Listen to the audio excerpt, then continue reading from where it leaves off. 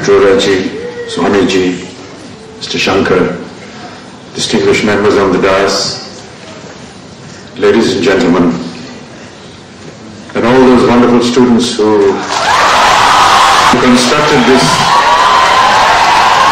lovely video clip of mine together with the painting. Thank you so much. It was really beautiful.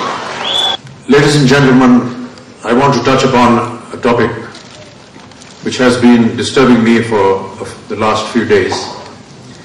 We've had a very unfortunate incident in Delhi recently, and perhaps those of you that have been reading the papers and the television would have witnessed the horrific and dastardly crime that has been committed on a young girl who has undergone a most heinous rape condition in Delhi.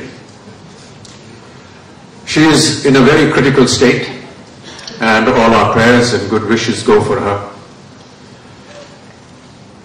I hope that she recovers.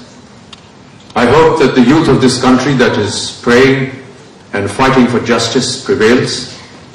I hope that the system changes its laws to punish such terrible culprits who propagate this kind of violence against women are half the strength of this country.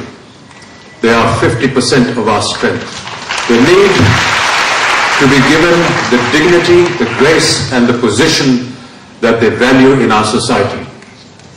One of the constables that was deployed on duty to take care of this protest, which unfortunately was infiltrated by some wrong elements, has lost his life today.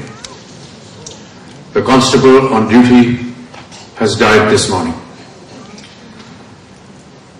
I want to say that this cash award that I have received of 2.5 lakh rupees, I wish to dedicate this